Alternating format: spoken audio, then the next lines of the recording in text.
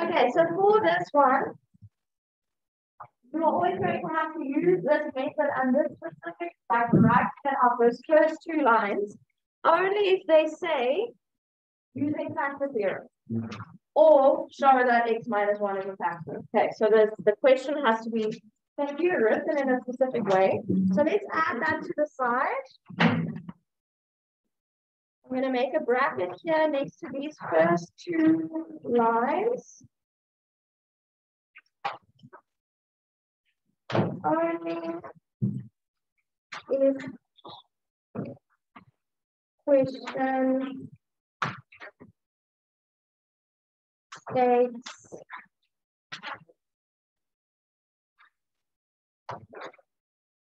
Okay, there are two ways in which they can say using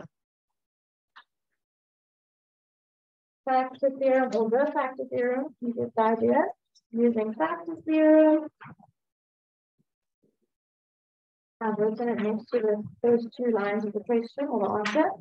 But only if the question states using factor theorem or so that whatever, so I'm going to put a dot dot dot, because will be a different bracket depending on the question, is a factor. Okay, so if they ask you that, they give you the equation and they say show that x minus 1 is a factor, then you're going to have to do those first two lines.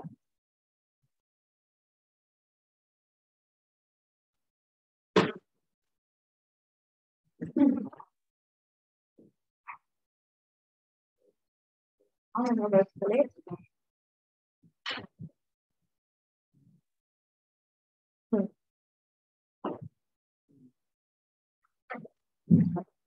Okay, so guys, remember when we're solving for x, it's finding an x value that makes this equation true.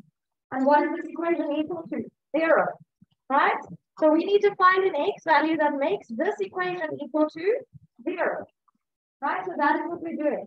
We are just going through the different numbers that we can work with. And I think in the video, I said I normally start with one, then I do negative one, then two, negative two, three, negative three. But if you have gone up to like five or six and you still haven't found something that works, then you may start looking at fractions. All right, so like a half, negative a half, we will look at that now. But you are subbing in, so this is like a trial and error type thing. Okay, you're subbing in different x values until you get one that makes the equation true, that makes the equation equal to zero that value, the value that you get from that, so now this is saying that x must be equal to 1, right? Do we agree with that? f of x, f of 1. This is saying that yes, x equals 1. That is the solution. But what bracket will give me an answer of x equals 1? x minus 1, right? We remember when we did something like this, I'm just going to write a little example here at the bottom. When we did, you don't have to copy this down, but say it was x squared um, plus 5x minus 4 equal to 0. Right, and you have to solve for x, yes? And yeah. If you have to solve for x here, you would factorize, right? What would my brackets be? x. Factors of 4, the difference must be, oh, no, wait. Let's do this. Sorry. Factors of 4, the sum of the brackets is negative 5. What do we think? Minus four, minus four and minus one. Which x values am I going to get from those two brackets? Four. four and one. Right? So that's what I'm talking about, guys. When I say now when we working in this example at the top, we actually have the x value. We need to work backwards into getting the bracket. Okay, so you're getting the x value is 1. What bracket will give you an x value of 1? X minus 1. All right, there's always a different sign. So you just tell me in one of your x Yeah, but you're gonna possibly gonna sub in a whole bunch until you find one that actually works. Okay, it's not always gonna be the first one. And what are you trying to find? I'm trying to solve for x. I'm trying to find a value that makes this equation true. Once I've found one value that works, that's going to give me one bracket in the factorized form. So we're getting our first bracket from that trial and error thing. Okay, so to get your first bracket, you always do prime and error. Find it out. Subbing in different x values until you find one that works. Until you find one that makes it equal to zero. That is in your first bracket.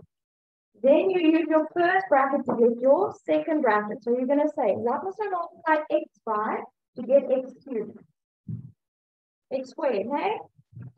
If we're looking at our last term, what does I multiply negative 1 by to get positive 1? Negative 1, right? Negative 1 times negative 1 is positive 1. For the middle term, maybe let me just move this one line down to that. For this middle term, we needed 2x squared. Okay, so that is what I need in my middle term. What do I get when I multiply those together? Do we agree that it's negative x squared? What do I need? Positive 2x squared. What does I add to negative 1x squared to get positive 2x squared? 3x squared, right? Now that is why I made that a 3x, so that when I multiply these two, I'm going to get my plus 3x squared. You're going to practice a whole bunch of these. I'm going to do another example now. I'm just going to repeat that whole process, guys. You get your first bracket by trial and error. Okay, by in different x values until you find one that makes the equation true, that makes it equal to zero. Then you figure out if your x value is 1, the bracket has to be x minus 1. Okay, it's always a different sign. All right, then that is your first bracket. You now need to see what did you multiply your first bracket by to get the second bracket.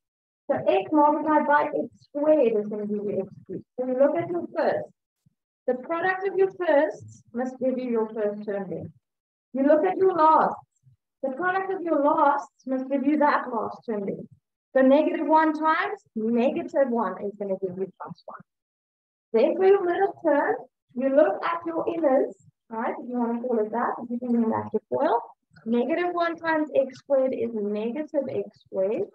We need positive 2x squared. So that means that I need another 3x squared. Okay, the only way to get that is if I have a plus 3x there, because x times 3x is 3x squared. Okay, it is going to take some practice, guys. So don't worry if you're a bit confused. You're just going to have to practice first. Now, remember we're supposed to be solving for x.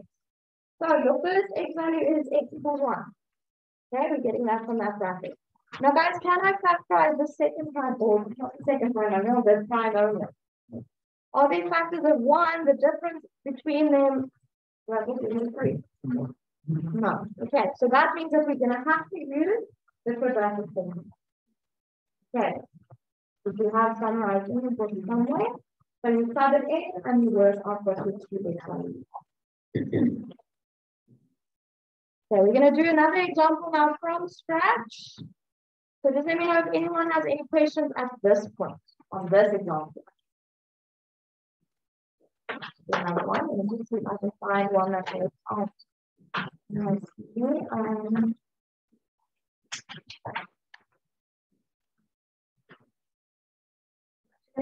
two examples of useful. Okay, you can just make a heading example or something like that. I'm not sure how you just are set up at the moment. Or we did do examples here and then we just did one. So maybe you can say examples continued or more examples.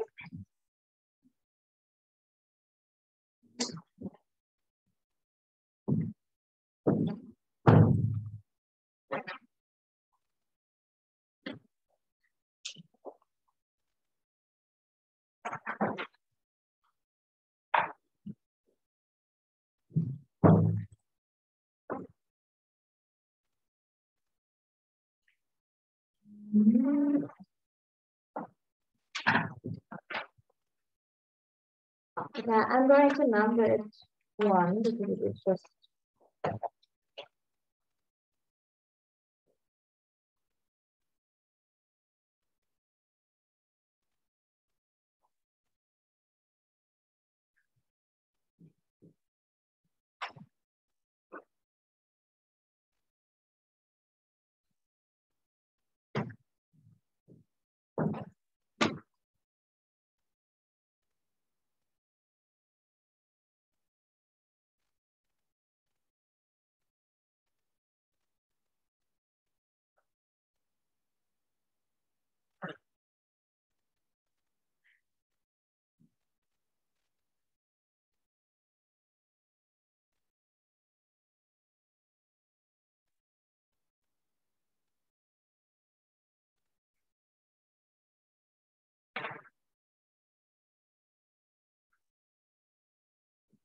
We're going need your calculator, so please get those out if you're ready.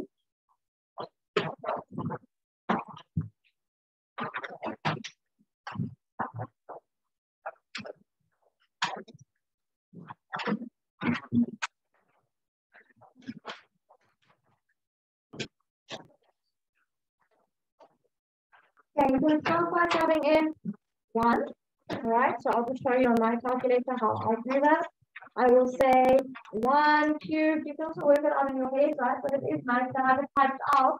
In case you have to go to bigger numbers, then you can just use the arrow to change the x value.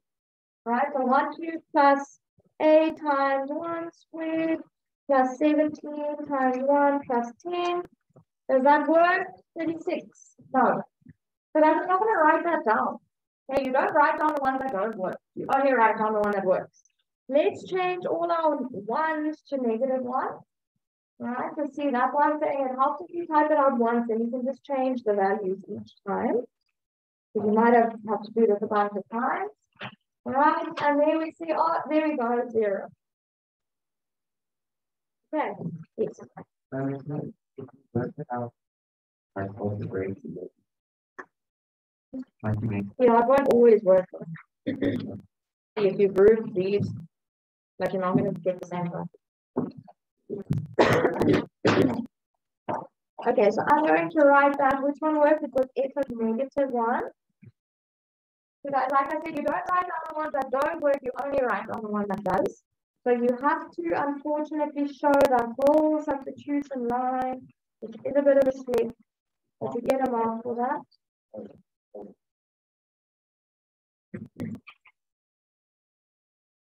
So you write f of negative one and thing equals to zero.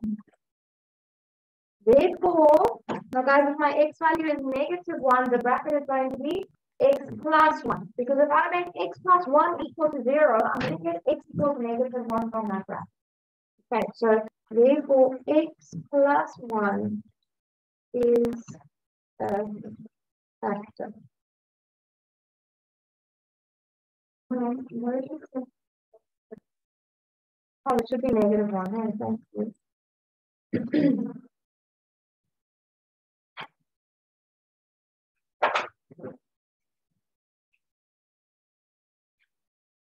Okay, so that's the factor theorem part done. Guys, if they didn't say using the factor theorem, they just say solve for x. We don't have to write this. Okay, you can just go straight into doing your two brackets. Like one back, and one, one.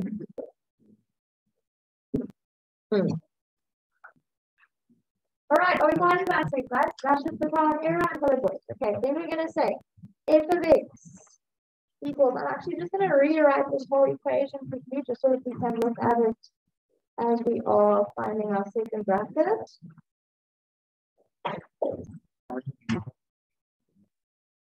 What? How many values do Two? Values. So it's always gonna be your this bracket and your trinomial, which we're gonna come back to. Okay, guys, so here I have my x plus one. So I don't really need to write this f of x again. So I'm to do it, yes.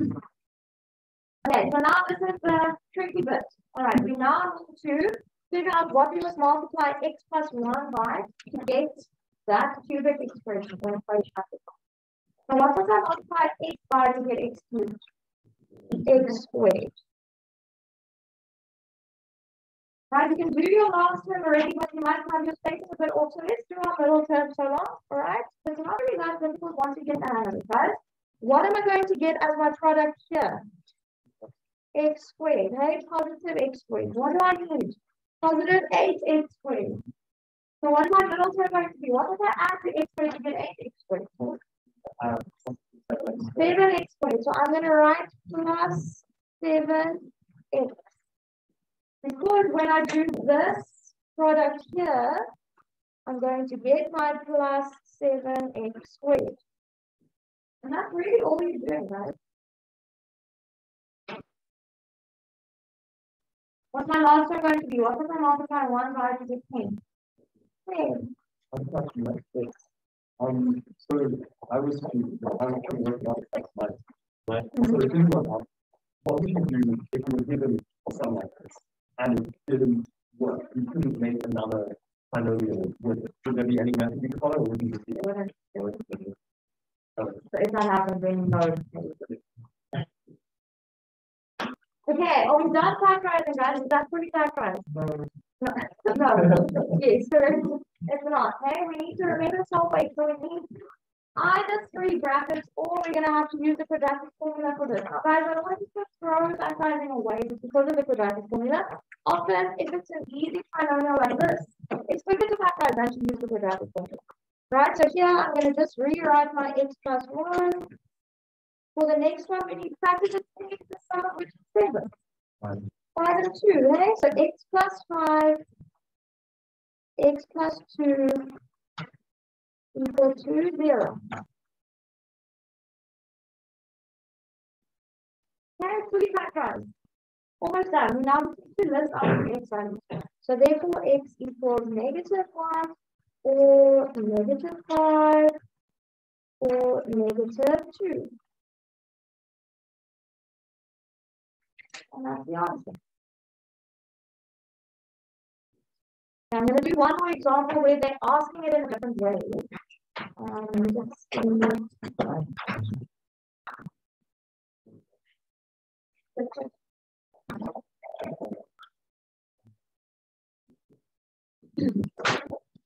You have to say x plus one from your z and they're not.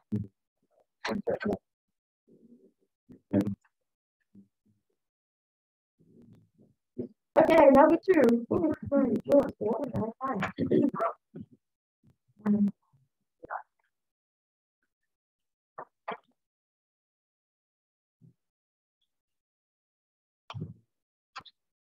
Okay, let me just get my spacing here. Okay, number two.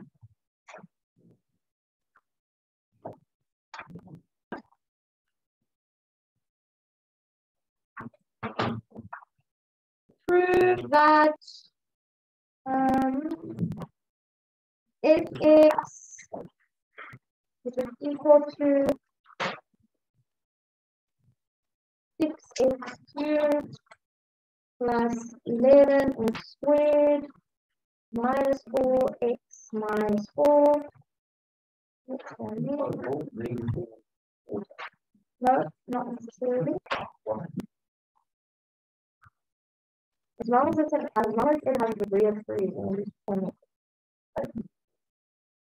Highest, highest exponent of x. degree of. But then, so we use this work out from seven nine. So five terms, we have worked four terms. No, it's five terms, then it can't be a cubic equation. you Can't do it. Okay. This is the method for cubic equation. But it's not a cubic equation, you want to use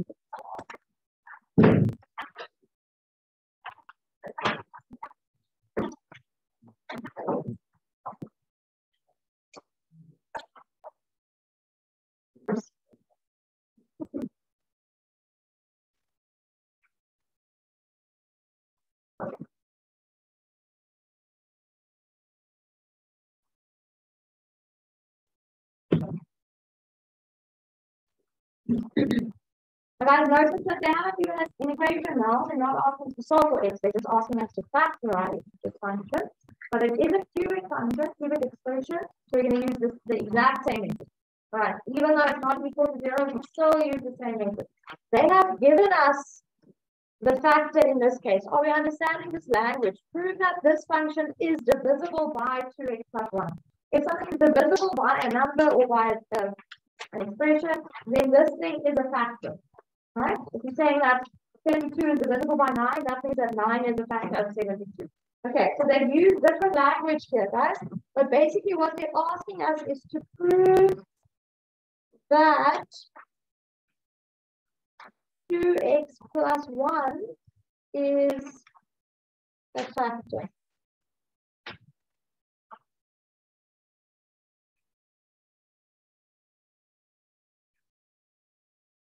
Not telling us which x value to plug in though. We need to figure out if this is my factor, if this is one of the brackets, what x value will actually give me that bracket? Or which x value will I get from that bracket? How can we work that out? What do you guys think? Yes, you can go.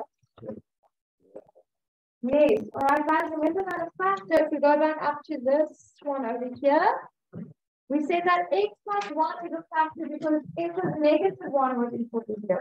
Now, if we make x plus 1, that bracket equal to 0, that is how we get that x value, right? So if they've now given you the factor that you need to work with, the factor that you need to prove, if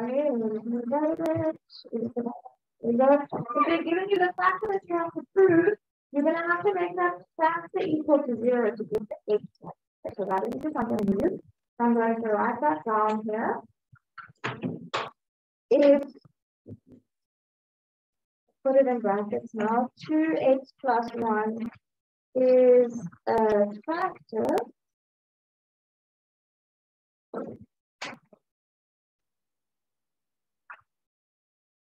then we're going to have to make it equal to 0 in order to get the x value that will give us that factor or the x value that we get from that factor, from that bracket. So I'm going to have to move that 1 over to the other side, and it's going to become negative 1, do you agree? And then I'm going to have to divide by 2. So the x value that will give me a bracket of 2x plus 1 is actually negative a half. Now, you have situations like not like this but you have done trinomials, right? Where one or two of your brackets have like a coefficient in front of the x. Where you have like a 2x plus 1 as one of your brackets. And then you have to make that equal to 0 in order to get your x Okay, so we're doing the same thing. The questions just after the Again, just in case sometimes you get used to it. Right? Okay, so x equals 1 half. So we need to still show this, right? We figured out now that 2x plus 1 will get us the x value 1 half. How am I going to prove that it's a factor? What do I have to do? What tells me that it's going to be a factor? Huh?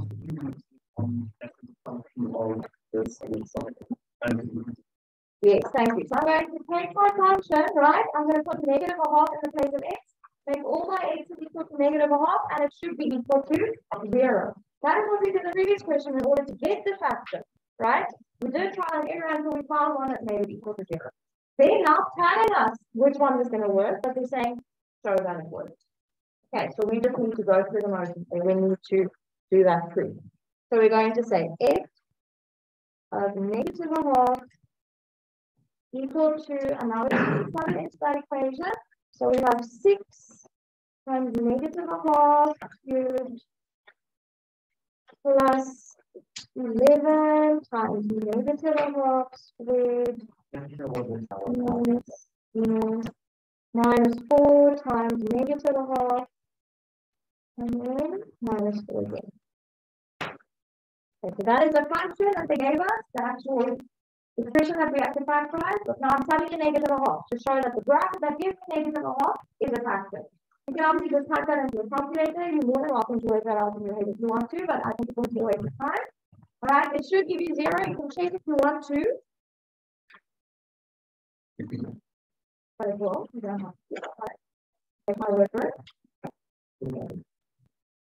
So therefore,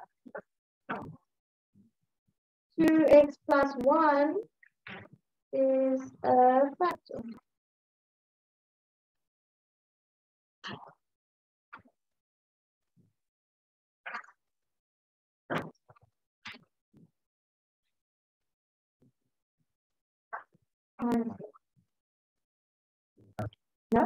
We've the one half of the question. Hey, we proved that it's a factor. Now we got some facts right.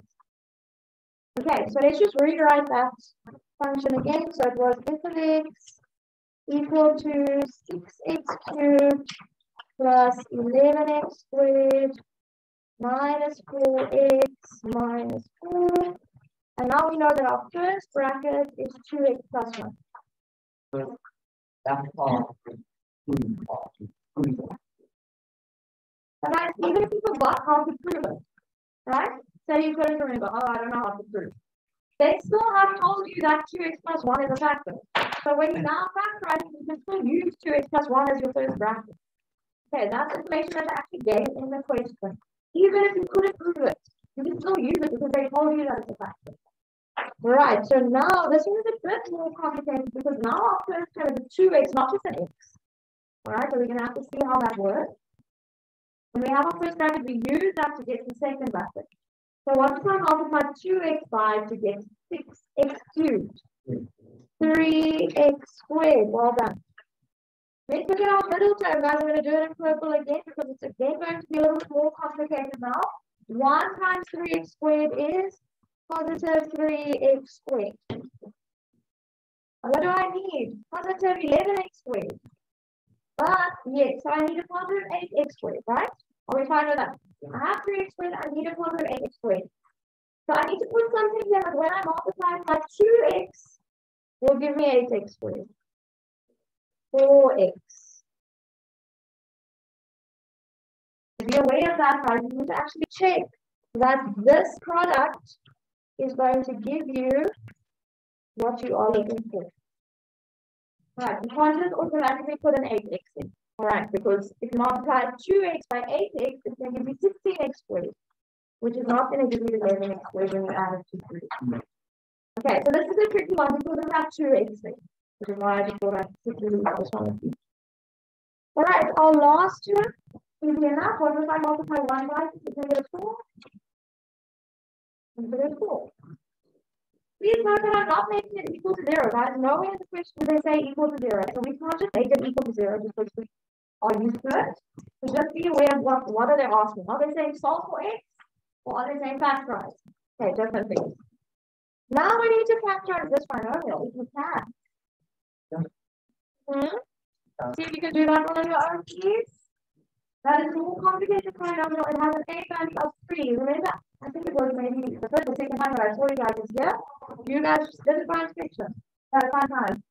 then I showed you a very long like cross multiplication method that the majority of you didn't like. You can use it. So you can try and do that science picture.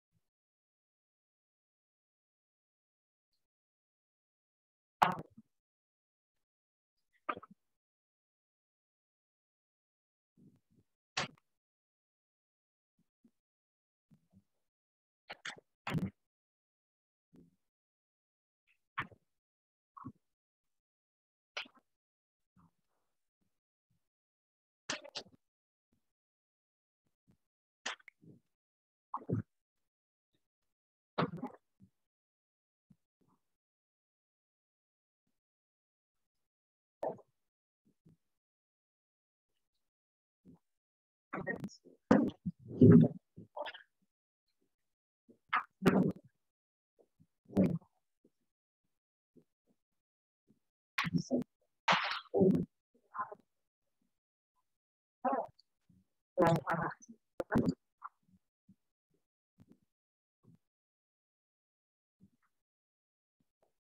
you have an answer for you guys?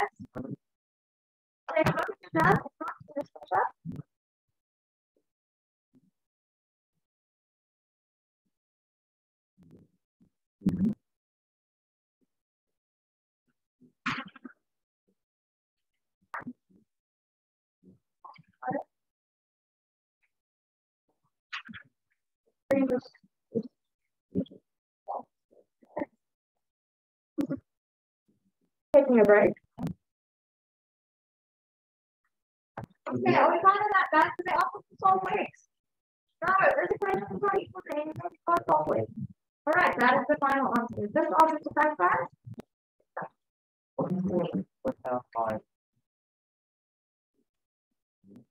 All right, any other questions on this, guys? You're going to practice a whole bunch of not a whole bunch, a couple of.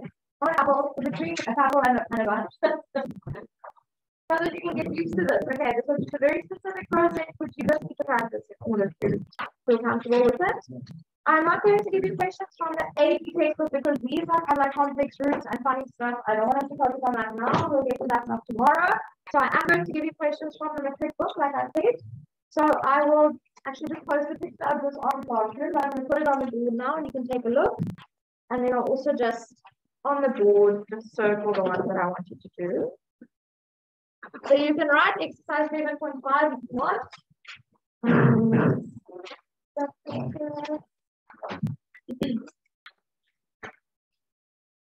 guys, so these ones are not fixed all in everyone's face, but just notice that they solve the equation. All right, so these ones are equal to zero. So once you factorize, you are going to get your answer. Okay, you just need to be careful what they actually ask of you. Okay, so did we just do this one? No.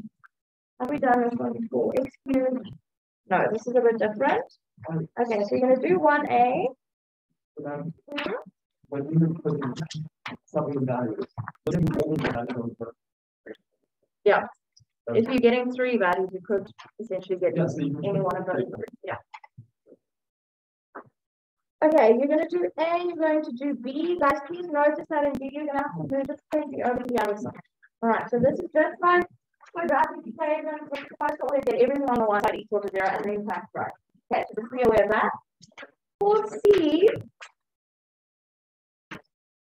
I suggest dividing through by negative 1 in the beginning right? No one wants to work with a negative 2x cubed. Just divide through by negative 1 right from the start so that you actually have 2x cubed plus 7x squared plus 2x plus 3. Sorry, that's all screen equals 0. All right? Just divide every term by negative 1 and then it's much easier to work with. For that one. no, it's just more practice of this, this thing that we've done so far. All right, there's it is H as well, so you're doing those five. and you need to find your first bracket in all of these, in all five of these. You're going to have to do that trial and error thing. Yes?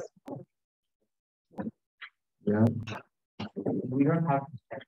No, you don't have this book.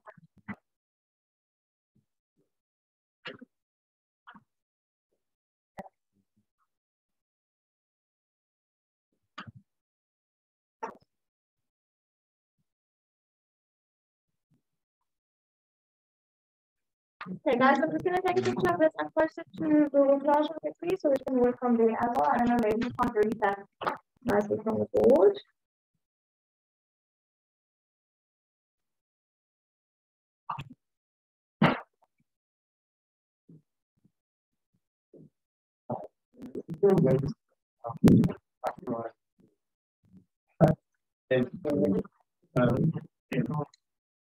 Yeah. Like, like, like, some people and, and, right? Yeah.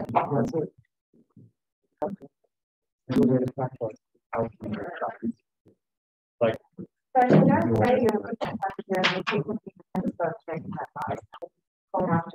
Right, like the way that you like make a trinomial binomials. There's no way that we can learn to turn four terms into trinomial binomials.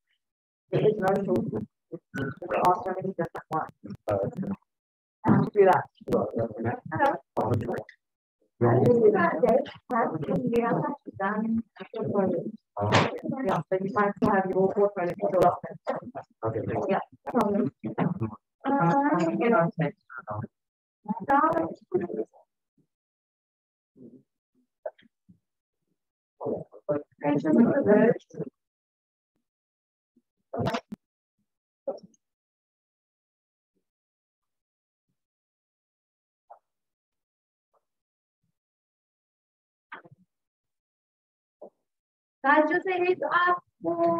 thinking of C and F. Try not to. I don't know if it is the case, I have to do them myself, but sometimes when you have like a two or three in a calculator, sometimes you're going to have to look for factors, um, fractions. Sorry.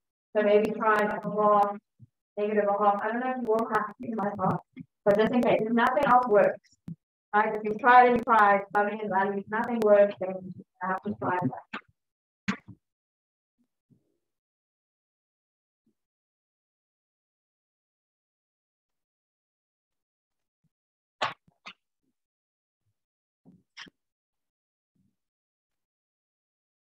Okay, I posted it. Guys, I'm going to hand out your tests now. I'm going to have to take them back because I haven't put the marks in yet. And then, no, we'll see if you have any like burning issues now. You want to ask me about your online welcome. But the reason as well,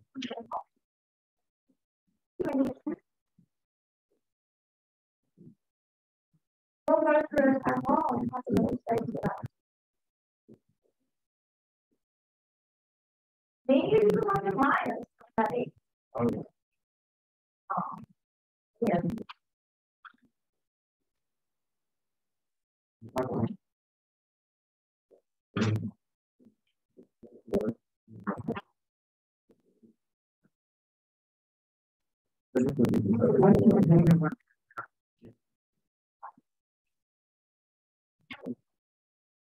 No, I I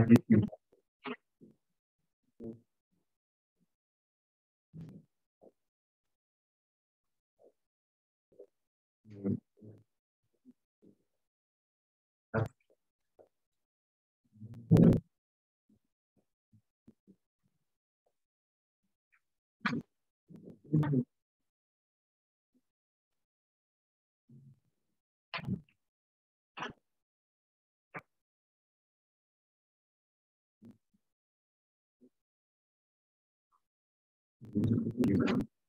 you.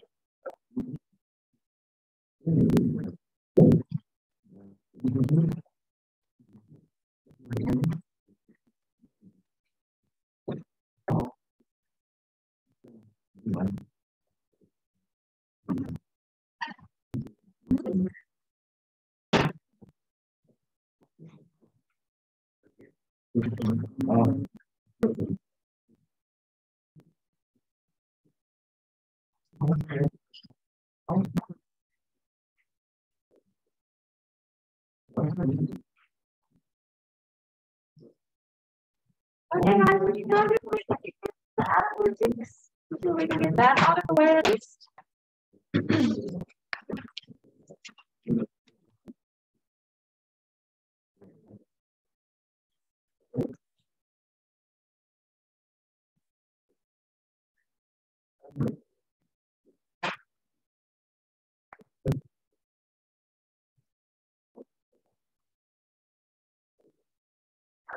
Oh, Sorry.